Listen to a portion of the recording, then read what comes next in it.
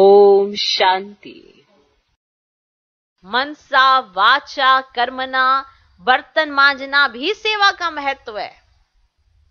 अगर आपने मनसा सेवा की, आपने वाचा सेवा की, आपने कर्मना सेवा की, आपने बर्तन मांजे, सब में सेवा है और इन सब सेवाओं का महत्व है। जितना भाषण करने वाला पद पा लेता है, उतना योग युक्त युक्ति युक्त स्थिति में स्थित रहकर बर्तन मांझने वाला भी श्रेष्ठ पद पा सकता है।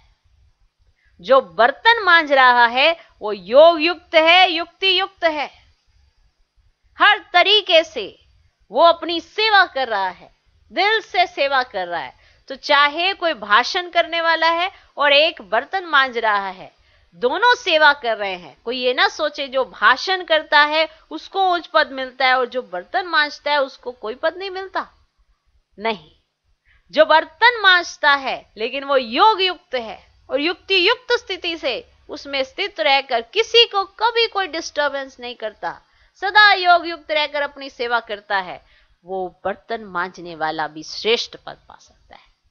वह मुख से करता, वह स्थिति से करता। जो बर्तन धो रहा है, वो अपनी स्थिति से बता रहा है कि योग युक्त स्थिति क्या होती है।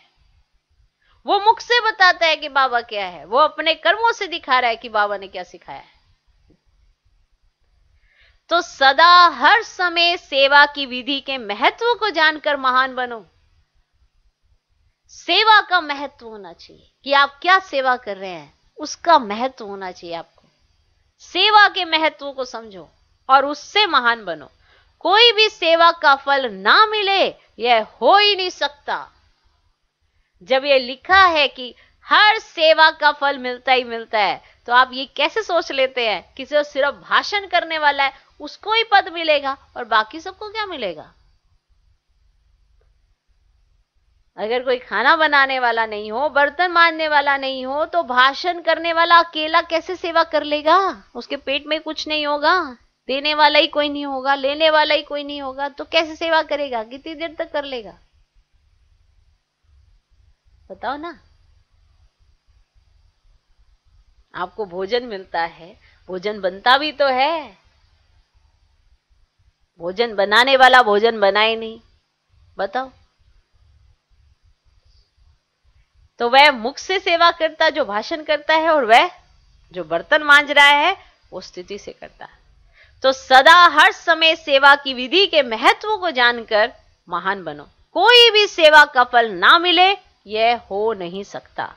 लेकिन सच्चे दिल पर साहेब राज़ी होता है। कोई ये सोचे, मैं तो बहुत सेवा करती हूँ, मैं तो दिन, रात, सुबह, शाम सेवा करती हूँ। लेकिन उसमें अहम भाव बोध है। मैंपन बोध है। तो वो सेवा क्या सेवा है? वो मैं ही उसकी सेवा को खत्म कर दी जाती है।